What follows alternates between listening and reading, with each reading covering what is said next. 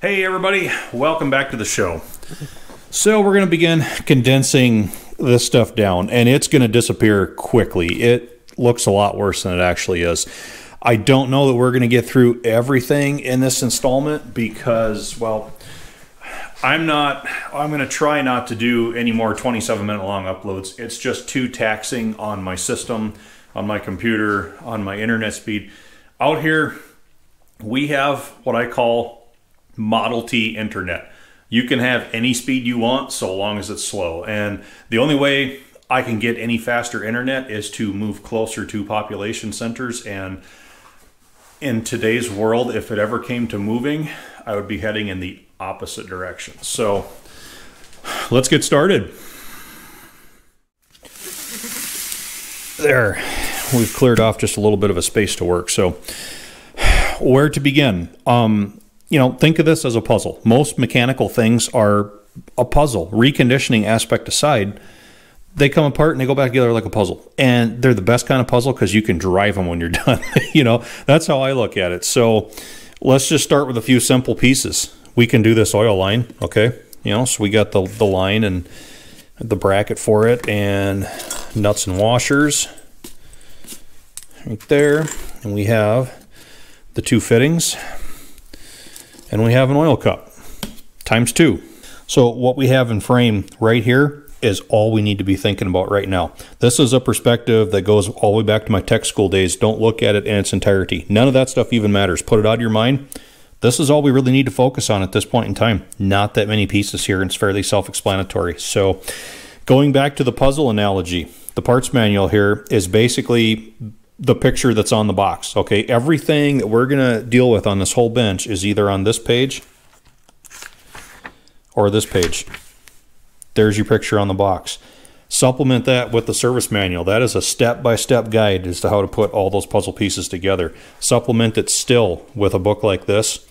This is basically journal entries of the field servicemen. Okay, this is years and years of real world experience when these things are being flogged hard every day and still we're expected to produce.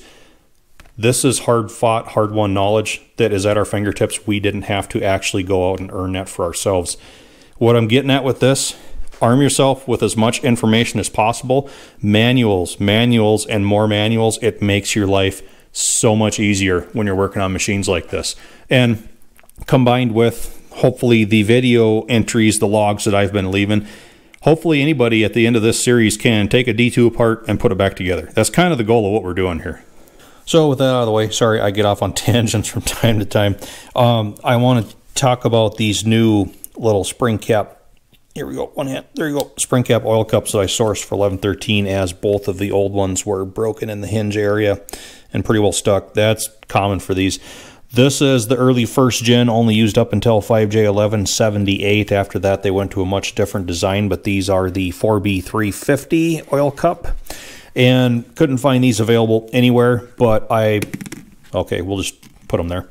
I got these from the McMaster-Carr Company, and they're they're a pretty close uh, facsimile of the original ones. The new ones are a little bit larger and I'll throw the part number for these on the screen here so you can have it for your records in case you uh, want to know. But so with that out of the way, we can start putting this stuff together.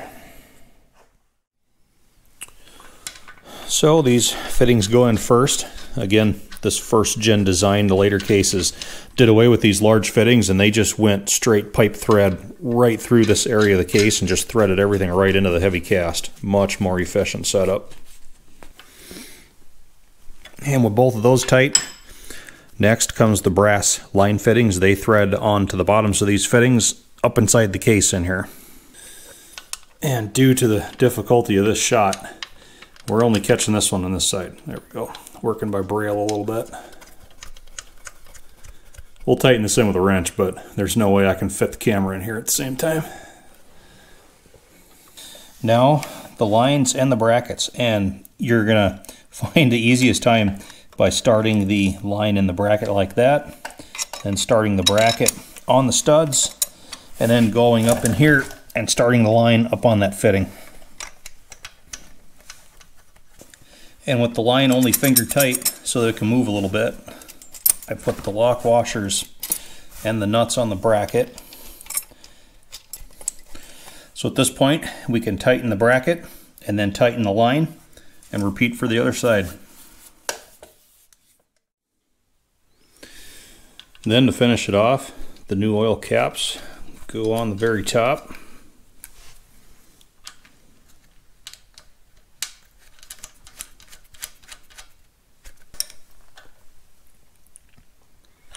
Okay, both of the oil caps are tightened in and we've got the oil delivery system in place, fully installed. That wasn't so bad. So let's clear some more pieces from the bench. We can do some corner pieces, right? So we have the actuator lever for the steering clutch and the bearing and the shaft. And then we have the spring, the acorn nut and the washer for the pull rod. Again, times two. One talking point worth mentioning the needle bearings that run inside these actuators are extinct. There are no new left in the parts chain, and I have not been able to source any new old stock either. So, good used is what I'm down to. I have a few of these because every time I dismantle the D2 back end, I pull those shafts to see if we have good bearings to salvage. Most of the time, you see something that looks like this because in their stock form, once they're assembled, you don't have any way of putting any more lubrication into these things unless you pull those shafts and manually put some in there. For me, that's not a big deal because maintenance like that is basically sport. So some specs on those bearings. The cat number was a 4B5353 and it's a Hyatt 93420 at the end of the day. Now, if you had to go the bearing route but you didn't have any good use, you can use a McGill MR14SS Mr. HFDZL in the comment section supplied me with that data right there. The only thing he cautioned is the 1.250 diameter bore in the actuator lever must be oversized to a 1.375 to fit that McGill MR14SS and to round out the specs, he signs off as Herb. Thanks, buddy. I appreciate that info. And another option still is to just turn out an Oilite bushing that fits the existing diameter of that actuator and also fits the diameter of the shaft. That's something that on its own will last a long, long time without you having to take this stuff back apart and add any more lubrication. So to start with, we'll put the springs and the washers on the pull rods. Each pull rod is covered in grease. I like to even coat the springs and the washers with grease. These things are in a pretty harsh environment, so give them all the help that they can get. We start by putting the springs on. Washers go on next.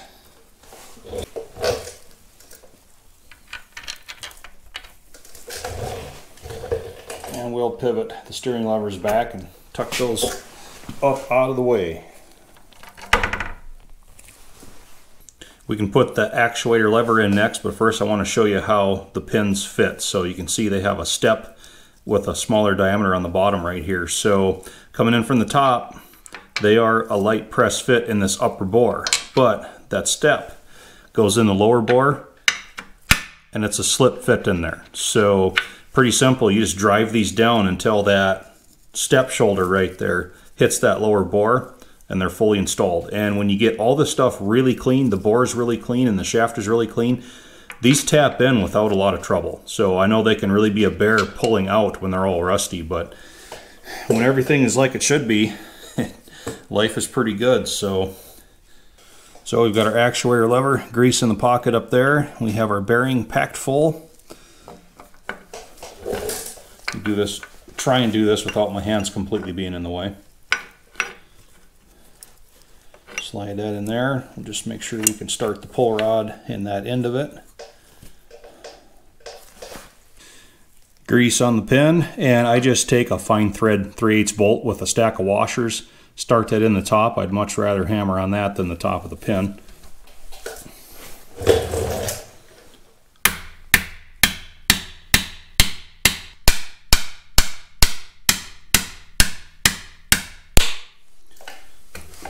Sounded like it bottomed out.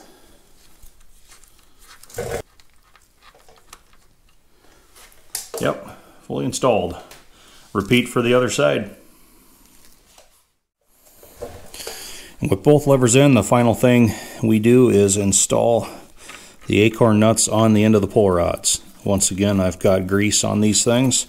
And we're not going to put these in their final position because they have to be adjusted along with steering clutch pack free play and lever position and you know we'll we'll do all of that probably once the final drives are on even. That's when you everything's finally in place and you can really start um, adjusting things and you know where everything has to end up. So because these are retained by cotter pins or split pins as I'm often reminded that go through the, the slot that's in the head. So okay this will give you a little bit of an idea how those work with the steering levers so Simple as that, right?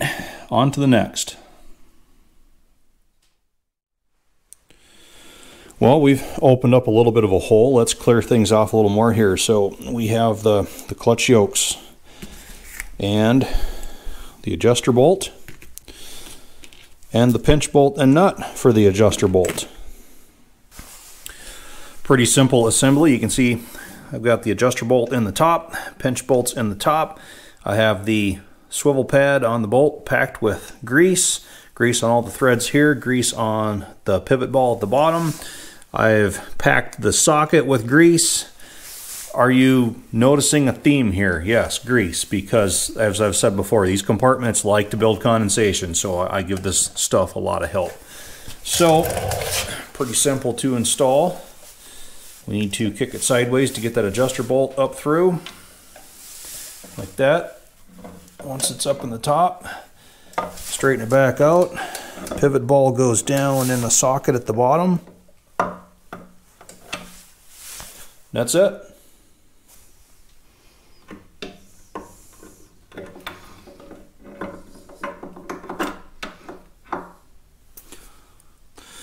And with that, not only do we have the oil delivery system in place, we have the entire clutch control system in place as well. And you know, when you look at it in its entirety, it can look like it's a little bit busy in there, but just breaking it down one small subsection at a time, it's pretty easy to wrap your head around. So now we can begin with the assembly of the steering clutches.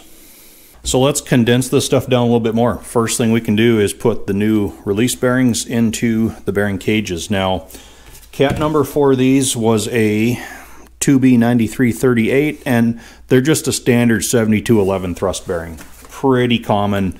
You'll have no problem picking these up aftermarket. They're all about the same quality anymore. So, uh, one thing you want to make sure of is to assemble these in the cages properly because there is a thrust face on the outer race and a thrust face on the inner race. So, take a look at it. We can see the backside of the outer race is pretty much open, nothing really holding any of the balls in there, so we know this is the thrust face right here of the outer race. So if we put that thrust face down into the bottom of the bearing cage, that's proper assembly. If you get that backwards, you're just going to pull that thrust bearing apart just like we did in the press, trying to press the old ones out. Um, one other interesting thing I want to show you with these cages, you know, we have this oil feed system that comes in through these hollow bolts that go into there. And you'll notice these cutout pockets on each side. The oil is going to run through that bolt and it's going to come in behind the outer race. It's going to get into that pocket. It'll roll down into this closed off portion here, eventually accumulate and run into the bearing and the bearing will circulate it all throughout itself. So Pretty simple how that lube system works. We'll get this one positioned properly the same way. And then we'll take these to the press, press them in.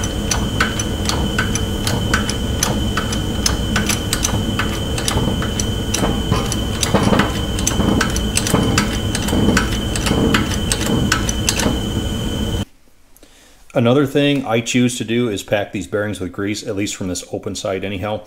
I know we have an oiling system that's bringing lubrication into them, but it's just a little bit more help to uh, to give to them inside those compartments. And it's not going to pose a problem because the oil coming in is eventually going to mix with the grease, thin it out, and it's all going to find its way to the bottom of that compartment anyway. So with the bearings in, we can find homes for a few more of these pieces. So we have our metal kind of dust ring, deflector ring.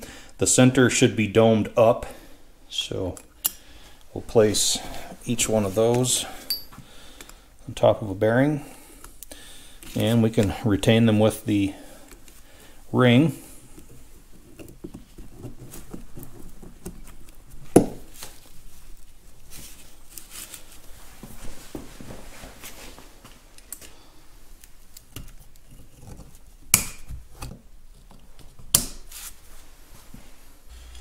Next we can take the six pins and put them into the pressure plate.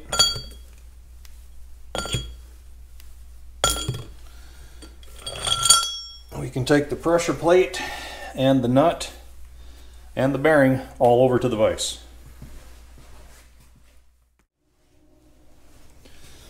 Start the bearing on the hub and I'll just tap it on. I want to only tap on the inner race because that is the direction that these are meant to thrust. I don't want to tap on the cage. That might risk pulling it apart. So we have an old inner race that's going to be an excellent stand-in as a driver.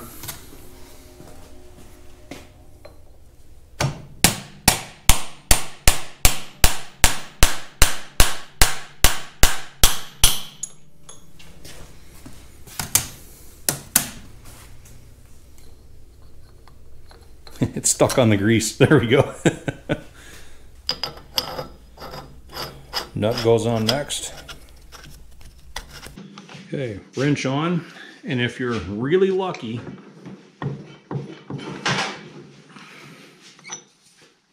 oh man, that's close. If you're really lucky, those set screw holes line right up with each other. I think I can get it. We're so close to being there.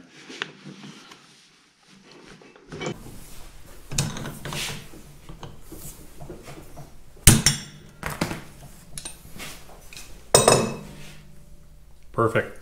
You didn't just see that. And here's where you need to keep the nut matched to the hub because if you don't, chances are the threads for these set screws are never going to line up again.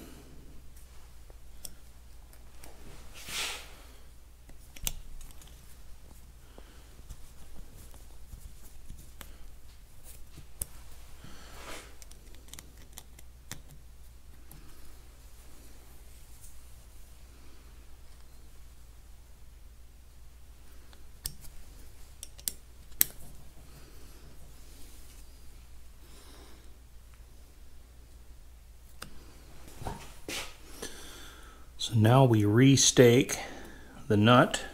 A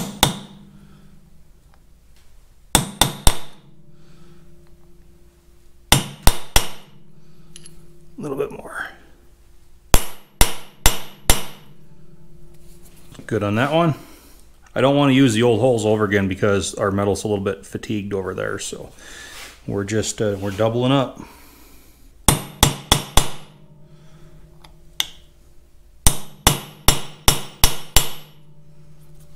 Calling that good.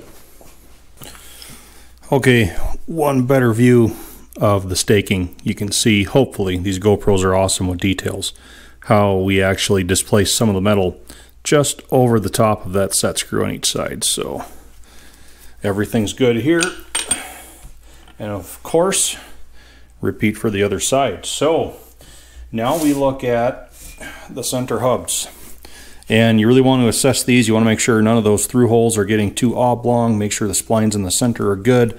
Make sure these splines here that the steel inner toothed discs engaged with are all good. We can see some faint witness marks on there, but I'll tell you what, these are as close to new as you're going to find in a D2. And just for reference, I cleaned up an old hub from 2115. I mean, what can I say? Worst case scenario every time, but you can see how much wear is on those splines. Like that one, right off the end of my fingers, just about worn through. Some of those get pretty skinny. So, yeah, this is uh, this is shot because you put new discs on all those old hang-ups there, and it's just going to cause you problems. So, I don't know how many times you need to cycle a D2 steering clutch to put that kind of wear on it, but 2115 could tell you. Now, to finally talk about these brand new steering clutch discs I have here, this is the bimetallic disc, and it's a definite upgrade over the original riveted organic style. Sintered bronze is what comes to mind. I can't find that to uh, to verify. It's been years and years since I've read it, but it's the bimetallic type, and they are a definite upgrade. They won't swell, they won't rust, they won't stick on machines like these D2s that sit a lot this is the only way to go as far as I'm concerned. It is well worth the investment.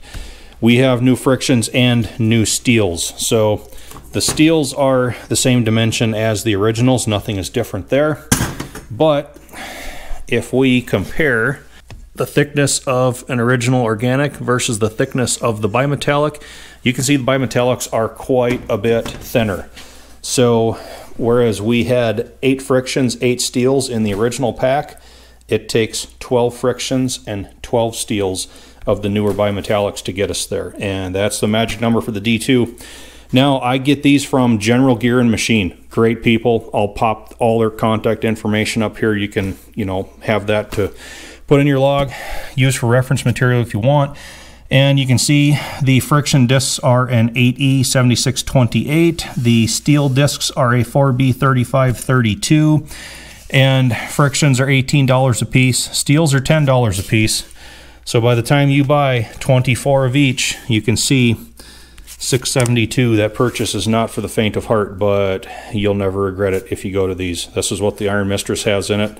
And seniors d2 the 5u 4399 we have to do a lot of steering clutch work back there. His is probably going to get these completely worth it at the end of the day now shop manual procedure for putting these clutches together what they would have you do is take the center hub just as it's sitting here and place it down inside of a brake drum so i brought an old brake drum up out of my pile so you know what we're talking about.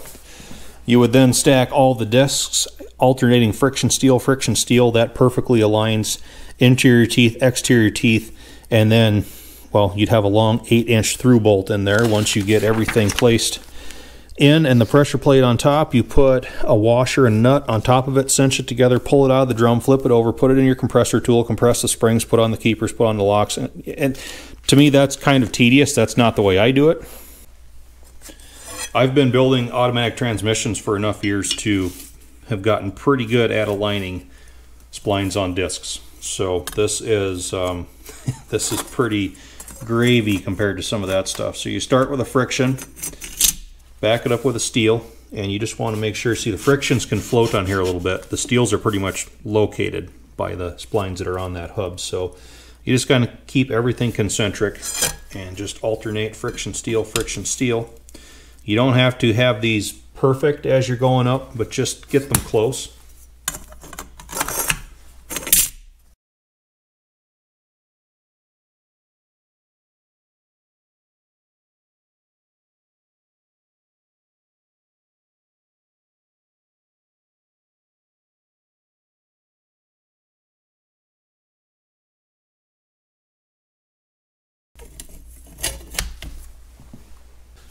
Now we can set the pressure plate on top. And one thing I may have forgot to mention before, hopefully you can see it with this GoPro, you can see a lot of crisscross grooves in that bushing down in there. And there's a lot of black stuff in there. Don't dig that black stuff out. That's graphite. So that's all impregnated in there. Makes it a self-lubricating bushing. So that's very important. And yes, we end with a steel disc on top against the steel of the pressure plate. That's just how they did it. Never seemed to be a problem. So I know that came up in the comment section a couple times beneath the last video. So we'll align the pins, drop that on there, and we'll take this over to the vise.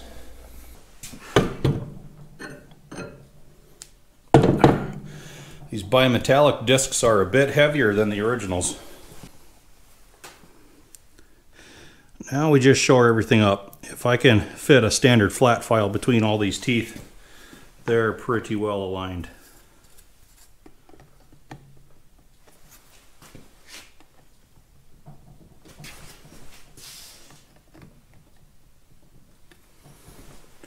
Make sure everything looks concentric all the way around.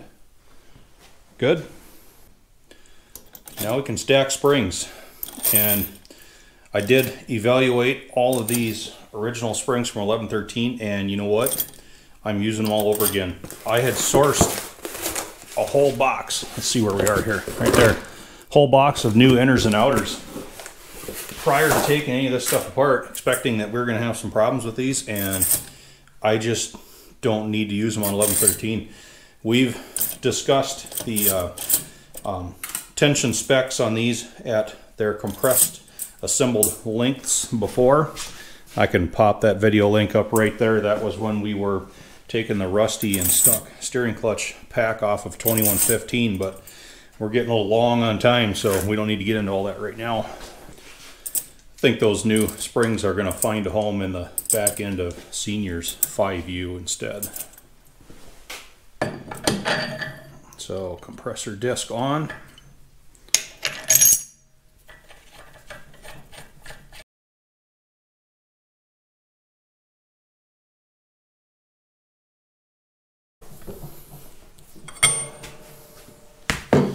All right, so at some point in time, you do need to stop and make sure the pins are starting to come up through the centers of these keepers.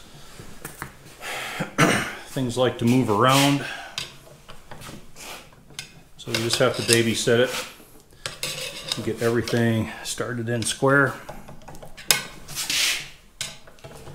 That one's looking good. That one's looking good. Because you don't want to have the keeper hang on the top of the pin and then the bottom of the pin's just bearing down on the release bearing cage and you're just loading up more and more and more tension. So, pays just to take a couple minutes, babysit things a little bit, make sure everything looks happy, and continue on.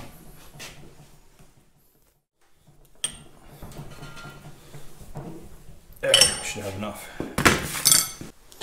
All right, so to put the keepers in, or the locks, at, well, we'll call them keepers it's kind of like doing a regular valve. I coat them with grease because that helps them stick once they uh, once they go on the end of the pin.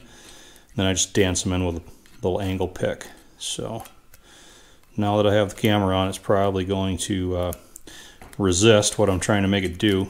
This is the last set. I got all the rest of them in, so something decides to blow apart at this point. It shouldn't, hopefully shouldn't go too far.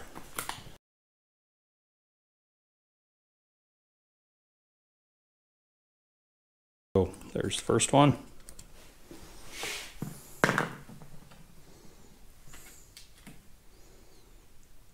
Apply some grease to the second one. Drop it in. There, that one behaved itself right from the start. Look at that. All right, all six sets are in. We can crank the tension off.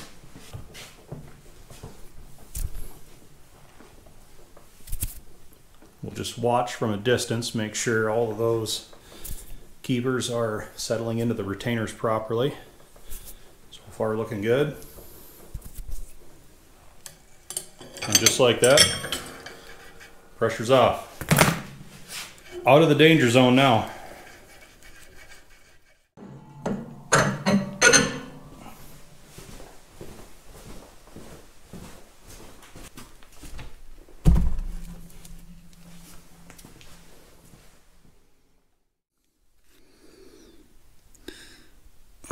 We're just finishing up with the last of the new thickness checks. Did I forget to mention, repeat all the same steps for the other side. And with the new discs, bimetallic frictions, new steels, both of our steering clutch packs right at three inches now, and that's much more in line with the uh, the book spec new of two and seven eighths. I like that better than the three and one eighth that we had. Of course, I'm you know pretty sure we had some swelling due to rust, maybe some moisture had been uh, soaked up in those, what have you. So now just take a minute, bear in mind that, you know, everything that used to be on this bench, or most of it, is still here. We put a few pieces in back here, you know, between both sides, but by and large, we still have that whole bench full of stuff laid right out in front of us. It's just that now most of it's taken up in these two sub-assemblies and we have just some miscellaneous hardware, some fold-over locks. So like I said before, don't look at it in its entirety. Just break it down into subsections and only focus on that. Disregard the rest of that and it becomes a lot less intimidating. There's really not, you know, as much to it when you do that. So we're going to cut the video right here. I know I said going into this, I'm not doing another 27 minute long video and looking at the files on the camera now, I think there's more under this time than there was last time. What can I say? So, all right, we'll cut it here. Um, next time we will, don't mess it up now, Squatch. Next time we will press steering clutches onto the bevel gear shaft, get all that stuff finalized, hopefully finish up with the rest of the transmission details, and then we'll be free to move on to the next, whatever that may be. So, as always, everybody, thank you for watching. Thanks for the subs, the likes, the views spreading the word and as always memberships available down below you guys know the routine with that right now we got some little bit of behind the scenes stuff in the recording of this, and I'll pop some of that stuff up on the members page uh, tomorrow probably, and then a couple days later we'll have this up and rolling. Thanks everybody. I got to stop talking. Hope to see you back again.